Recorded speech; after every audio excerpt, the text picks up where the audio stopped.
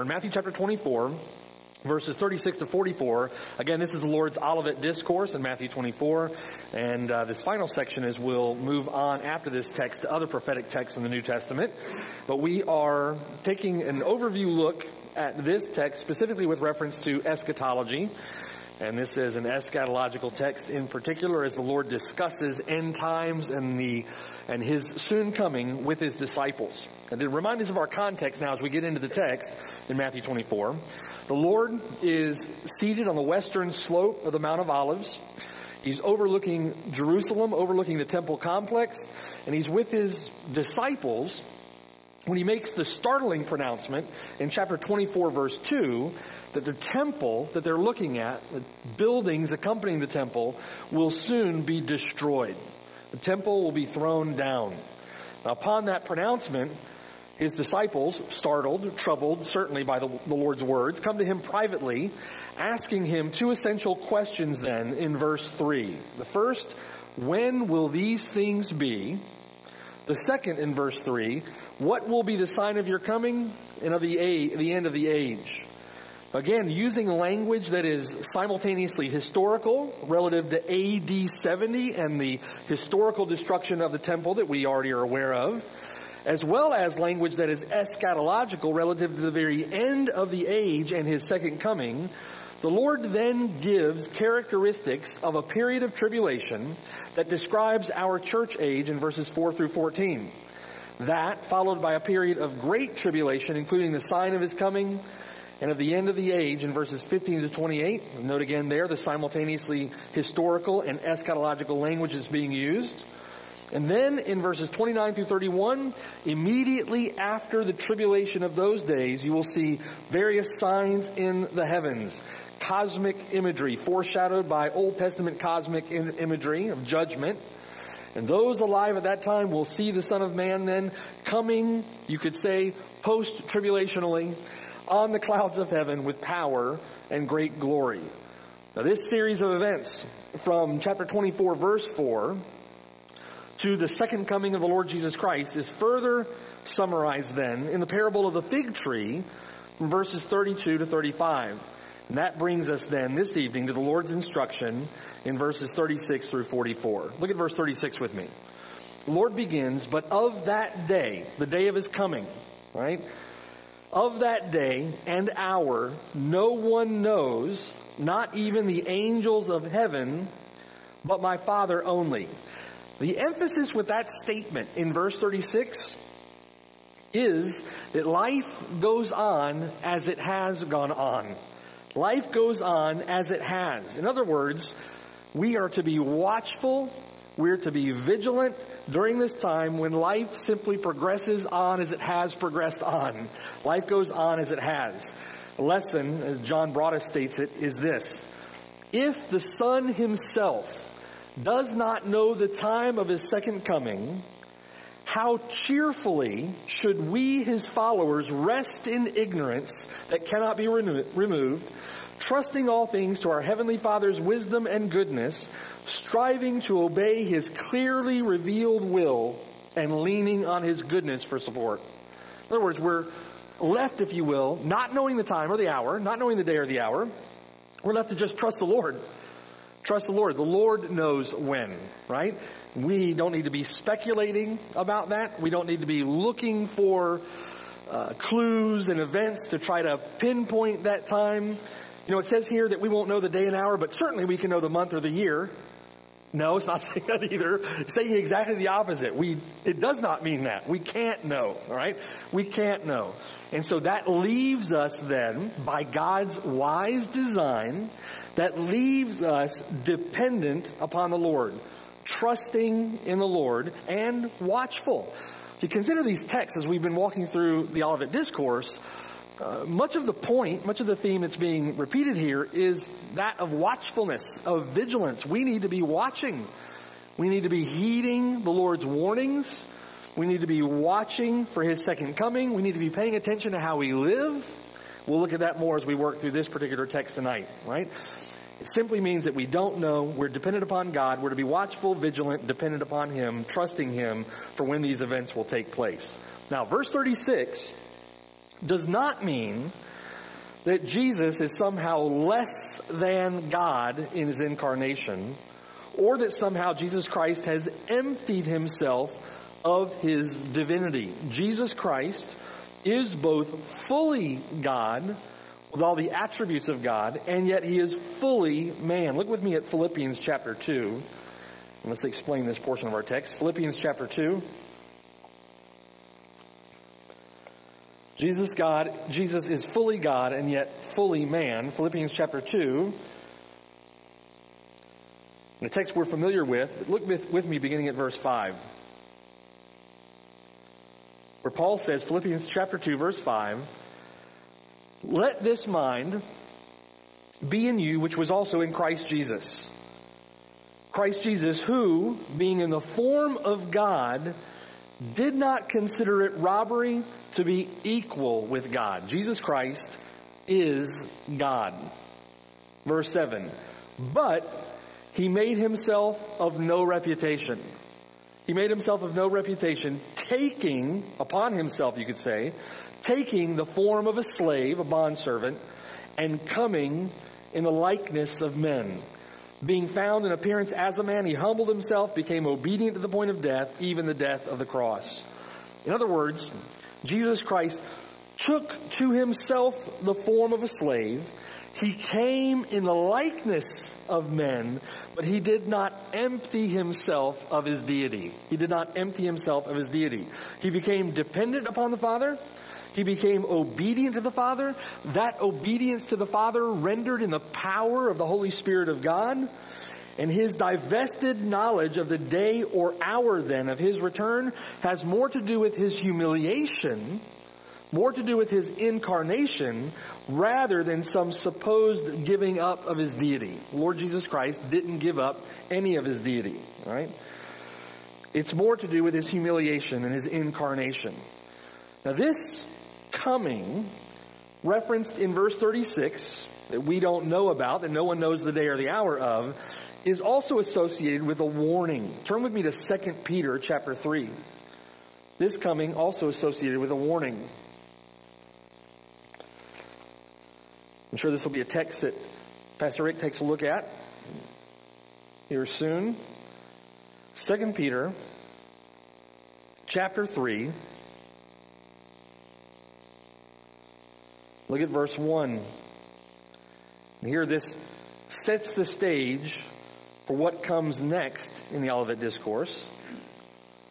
2 Peter chapter 3 verse 1. Beloved, Peter says, I now write to you this second epistle, in both of which I stir up your pure minds by way of reminder, that you may be mindful of the words which were spoken before by the holy prophets, and of the commandment of us, the apostles of the Lord and Savior, knowing this first, that scoffers will come in the last days, walking according to their own lust, and saying, Where's the promise of his coming?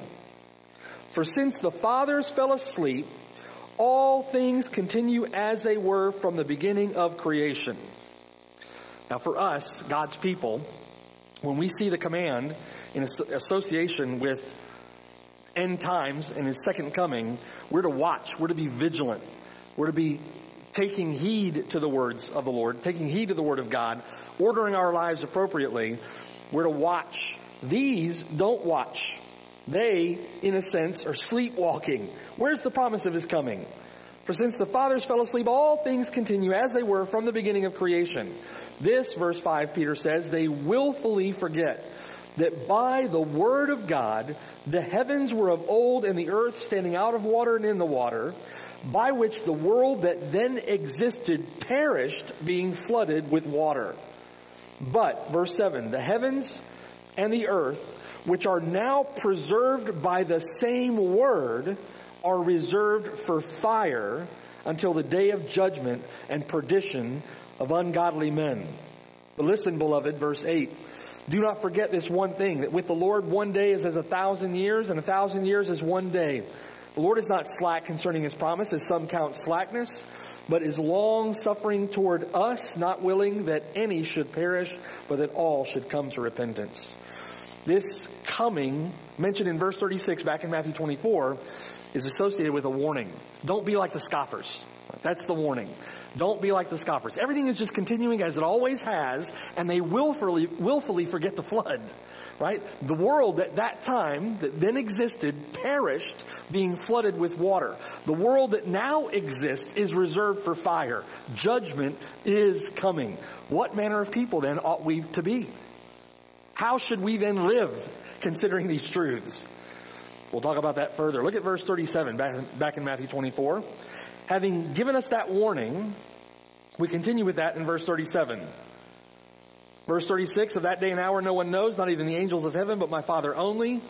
But, it's further explaining verse 36, but as the days of Noah were, so also will the coming of the Son of Man be. We're going to draw a comparison here between the days of Noah and the flood and the time of his second coming and the end of the age.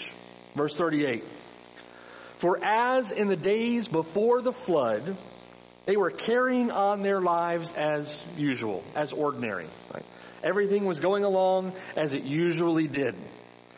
They were eating, says in verse 38, drinking, marrying and giving in marriage until the day that Noah entered the ark, until the day that judgment fell, right? Until the day that judgment fell.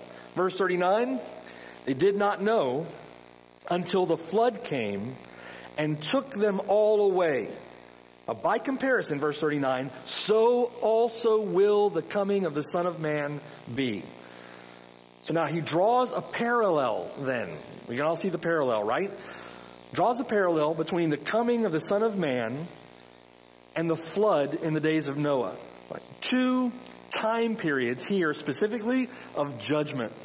Two time periods of judgment.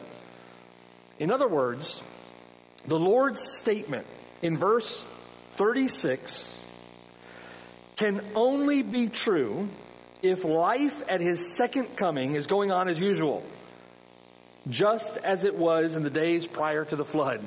Life is just simply going on as usual. People are doing ordinary things like those listed in verse 38. They're eating, drinking, marrying, giving in marriage. And again, we're faced with the repeated primary theme of this instruction that the Lord's people are to be ceaselessly watchful, ceaselessly ready for his soon return. The end of the age and the coming of the Son of Man will come suddenly, like a flood, so to speak. It's going to come in a rush. It's going to come in a rush upon normal, everyday, usual life at that time. It will come, you could say, completely unexpectedly like the flood in Noah's day. It'll rush in upon normal everyday life. The Lord, then explaining the suddenness of this judgment, explains primarily this event with two illustrations beginning in verse 40. Right here, the primary emphasis being the suddenness of the judgment. Verse 40. Then, at that time, at the end, when the coming of the Son of Man will be, when that judgment will come upon the earth, two men, verse 40, will be in the field. One will be taken and the other left. Two women will be grinding at the mill. One will be taken and the other left. In other words, here, the separation of the two isn't the primary point. The fact that one is taken and one remains isn't the primary point. It's the unexpected and sudden nature of the separation that is the primary point. You'll have two together, two together in a field, and in a moment, one's taken, the other is left. Two women grinding at the meal, sitting opposite the grinding stone, turning the stone together. One will be taken, the other left. It'll happen suddenly. It'll happen simultaneously, right? Separating those who are even next to each other. The context, the context requires that we read the separation as judgment. We need to be really, really clear about that. This is a text that's often used by many to talk about a pre-tribulational rapture of the church. It simply has nothing to do with that. The separation here happens in a moment, and we, in context, must read the separation as judgment. In verse 39, the flood came and took them all away. so also will the coming of the Son of Man be. Right? In verse 37. So also will be the case of judgment when the Son of Man comes. I want you to notice something with me. Very interesting here. Two different words used for taking in this text. Look at verse 39. Word in verse 39 is airo. Airo, taking up, taking away, referring to the flood, taking them away in judgment. For as in the days before the flood, they were eating, drinking, marrying, giving in marriage until the day that Noah entered the ark, and did not know until the flood came and took them all away. Airo took them all away, and took them all away in judgment, verse 39, right? And then he says, so also will be the case in judgment when the Son of Man comes. But I want you to notice in verse 40 and in verse 41, the word for taken here is paralambano. Paralambano means to take along or to take with. Verse 40, two men will be in the field, one will be paralambano taken and the other left. Two women will be grinding at the meal, one will be paralambano taken and the other left. Take along with or taken with. It has the sense of accompaniment or association. Okay, now follow along with me. Two days later, after the Lord gives this discourse on the Mount of Olives, two days later in the upper room, in John chapter 14 verse 3, Jesus uses the same word, paralambano, to explain in John chapter 14 verse 3, and if I go and prepare a place for you, I will come again and receive you, paralambano, to myself, that where I am, there you may be also. If we hold these words as distinct and not synonymous, and we understand them in context, then here's the sense of what's being said. One will be taken along, paralambano, as in the rapture of believers, taken along with the Lord Jesus Christ. The other will be left and swept away in judgment. The other left and swept away as in the flood of Noah. Still comports well with the illustration of Noah, where he and his family are taken away in the ark, the others left to face the judgment of the flood. All right? But in verse 40, verse 41, one will be taken in judgment, or one will be taken away, paralambano, with the Lord. One will be left in judgment. Again, the emphasis still, based upon verses 37, 38, and 39, the emphasis on judgment. One left in judgment. Facing, so to speak, not the judgment of the flood this time, but the judgment of fire. Again, as we look at the text, it begs the question then, when is the chronology, when in the chronology of eschatological events does this judgment take place? And again, the answer in the context of Matthew chapter 24 is post tribulation, after the tribulation period. Right? If you notice, Matthew chapter 24 verse 37, you have Matthew chapter 24, verse 37. But as the days of Noah were, so also will the coming of the Son of Man be. Referencing specifically the coming of the Son of Man at the end of the age. If you look at that language in verse 37, look back at verse 30, Matthew chapter 24, verse 30. This is after the tribulation of those days, after the great tribulation described in verses 15 to 28. Then you have verse 30, the sign of the Son of Man will appear in heaven, and all the tribes of the earth will mourn, and they will see the Son of Man coming on the clouds of heaven with power and great glory. This judgment takes place post tribulation, after the tribulation. Look back at verse 27, verse 26. At the end of the great tribulation, therefore, if they say to you, Look, he's in the desert, do not go out. Or look, he's in the inner rooms, do not believe it. For as the lightning comes from the east and flashes to the west, so also will the coming of the Son of Man be. Again, that's after, at the end of the Great Tribulation. Make sense?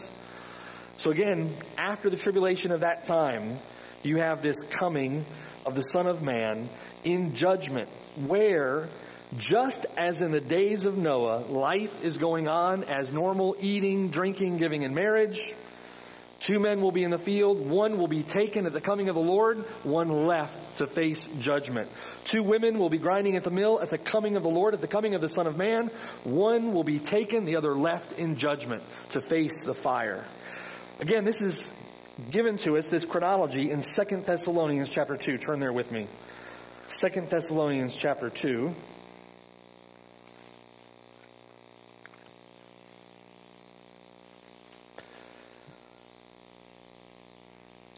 And again, in Matthew chapter 24, there's simply no reference, no text whatsoever that could support or would identify specifically a pre-tribulational rapture of the church. It simply isn't in the text. 2 Thessalonians chapter 2, beginning in verse 1. Now, brethren, concerning the coming of our Lord Jesus Christ and our gathering together to him. We're talking about the coming of the Lord and the rapture, right? Our gathering together to him. Listen to the chronology. Paul asks them not to be soon shaken, verse 2, in mind or troubled, either by spirit or by word or by letter, as if from us, as though the day of Christ had come. What's the day of Christ? It's the day of his coming and our gathering together to him, right? The day of his coming and our gathering together to him. Verse 3, let no one deceive you by any means, for that day, what day is it? The day of his coming and our gathering together to him.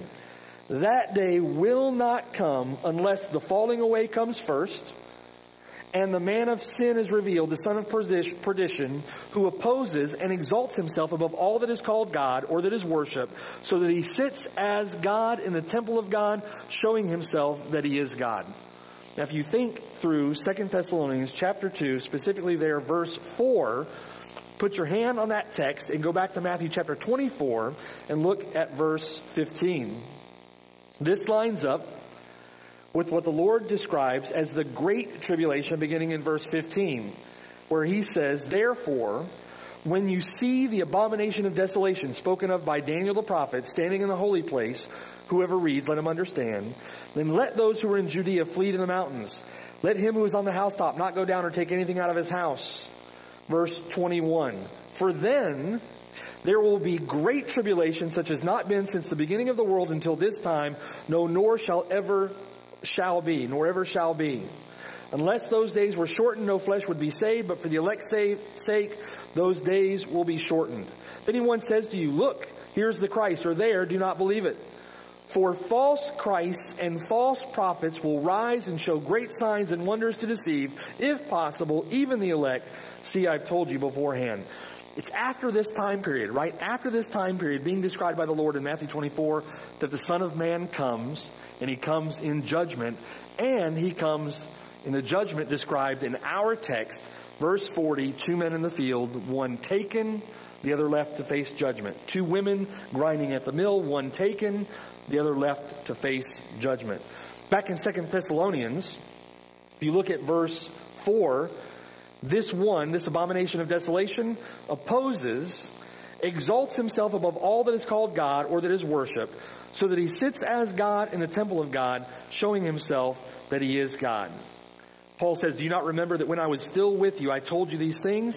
And now you know that what is restraining, that he may be revealed in his own time. The mystery, verse 7, of lawlessness is already at work. Only he who now restrains will do so until he is taken out of the way, and then the lawless one will be revealed, whom the Lord will consume with the breath of his mouth and destroy with the brightness of his coming. Again, this lawlessness, this lawless one, at the end of the tribulation, at the end of the age, will be destroyed by the Lord at his coming. Right? And that's according to the working of Satan, verse 9, with all powers, signs, and lying wonders. Remember what the Lord said in Matthew chapter 24 with respect to false Christ, false prophets rising and doing great signs and wonders to deceive, if it were possible, even the elect. Right? With all unrighteous deception among those who perish because they did not receive the love of the truth and they might be saved. Again, chronologically, what we're talking about in Matthew chapter 24, specifically the judgment referred to in verses 40 and 41, is after the tribulation period. After the tribulation period. Again, there's simply nowhere in Scripture is there ever even suggested by a text a pre-tribulational rapture of the church. Just simply isn't in the text. The text ends in Matthew chapter 24 with warnings considering the time of his coming. Thinking of these things, considering these things, the Lord gives us warning. Look at verse 42, Matthew chapter 24, verse 42. The Lord says, Watch therefore, for you do not know what hour your Lord is coming. But know this, that if the master of the house had known what hour the thief would come, he would have watched and not allowed his house to be broken into. Therefore, you also be ready, for the Son of Man is coming at an hour you do not expect. It's in this one respect only that the Lord's unexpected, sudden coming, could the Lord here in his return be compared to a thief? It's the only, only place where that could be possible. But what's the intent or the purpose of this instruction? That is clear from the parallel passage in Mark. Look at Mark 13 with me. What's the, the purpose or the intent or the emphasis of the instruction? Look at Mark 13. And look down at verse 32. Mark 13, verse 32. Right, we see, see parallel language here beginning in verse 32. But of that day and hour, no one knows, not even the angels in heaven, nor the Son, but only the Father. Watch the repetitive use of language here, beginning in verse 33. The Lord says, Take heed, watch, and pray. That's our responsibility during this time, right? As we wait the soon coming of the Lord Jesus Christ, we're to take heed, we're to watch, we're to be prayerful. Why? Because we don't know when the time is. That really is, in essence, the purpose of the Lord's keeping that information back from us in verse 36, back in Matthew 24. Right?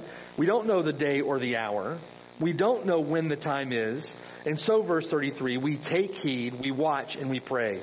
He says in verse 34, it's like a man going to a far country who left his house, gave authority to his servants, and to each his work, and commanded the doorkeeper to watch. Verse 35, watch therefore, for you don't know when the master of the house is coming, in the evening, at midnight, at the crowing of the rooster, or in the morning, lest coming suddenly he will find you sleeping. You can see all the references to coming suddenly, unexpectedly, watching, eating. You don't know when the time is. You don't know where the hour is. You don't know when the master of the house is coming. Is it going to be at midnight, in the morning, at evening, at the crowing of the rooster? Verse 36, lest coming suddenly he find you sleeping. We, during this time period, are to watch. We're to watch. We're to be vigilant. We're to labor for the Lord in the cause of the gospel, preaching the gospel to the four corners of the earth until the Lord comes. Verse 37, and what I say to you, I say to all, watch. Notice in Mark 13 that the warning that focuses on that day really is given as a threat. It's given as a threat. You don't know when the master's coming. So we need to be watchful. We need to take heed. We need to be vigilant. There are other texts, other texts that talk about the joy of believers that is coming. Right? And we pray for that. We pray for the Lord's coming. Um, we take His coming as both a cause of great joy and a heed to watch, a heed of, of, of text of warning. We're to look for the blessed hope and glorious appearing of our great God and Savior Jesus Christ, right? That's Paul's letter to Titus. And we're to look at his second coming as a warning to watch, a warning to watchfulness. Consider the comparative exhortation of Peter in 2 Peter chapter 3 verse 10. Listen. But the day of the Lord will come as a thief in the night, in which the heavens will pass away with a great noise, the elements will melt with fervent heat, both the earth and the works that are in it will be burned up. Therefore, Peter says, since all these things will be dissolved, what manner of persons ought you to be in holy conduct and godliness? Looking for and hastening the coming of the day of God, because of which the heavens will be dissolved, being on fire, the elements will melt with fervent heat. Nevertheless, we, according to his promise, look for new heavens and a new earth in which righteousness dwells. You see the combination there of watchfulness and joy? Right? We look forward to this according to his promise, but we also watch. We should fear the Lord taking consideration of how we conduct ourselves in holiness and godliness. Verse 14, therefore, beloved, therefore, looking forward to these things, be diligent. Be diligent to be found by him in peace, without spot and blameless. Consider that the long suffering of our Lord is salvation, as also our beloved brother Paul, according to the wisdom given to him, is written to you as also in all his epistles, speaking in them of these things, in which are some things hard to understand, which untaught and unstable people twist to their own destruction, as they do also the rest of the scriptures. You therefore, beloved, since you know this beforehand, beware. Here's the tone of warning again, right? Beware lest you also fall from your own steadfastness. Don't become apathetic. Don't become lethargic. Don't become sluggardly, right? Don't lose heart. Don't shrink back. Since you know this beforehand, beware lest you also fall from your own steadfastness, being led away with the error of the wicked. But grow, the Lord says, in the grace and knowledge of our Lord and Savior Jesus Christ. To him be the glory both now and forever. And all God's people said, Amen. Let's pray. Father in heaven, uh, thank you, Lord, for the warnings. Uh, thank you, Lord, for your clear instruction for us to take heed, not to fall uh, according to the example of the wicked, not to fall into the error of the wicked, not to fall into apathy or lethargy or sluggardliness, not to become lazy in the work, or not to sleep on the job, so to speak, not to sit down on our duty, so to speak, not to throw in the towel before we finish the race Help us, Lord, to be steadfast, immovable, always abounding in the work of the Lord. Give us strength, Lord, by your Spirit to not lose heart, to not shrink back, but to press forward in the cause and in this glorious gospel ministry that you've given us. And at the same time, Lord, as we look forward to your coming, taking heed to those warnings that you give us in your word, we also look forward with great joy, hastening the coming of our great God and Savior, the Lord Jesus Christ. Come, Lord, come quickly. We love you. We look forward, Lord, to that time when your will will be done on earth as it is in heaven for your glory, for your everlasting praise and worship, and for our good, for our joy in you. We pray all these things. In Jesus' name, amen.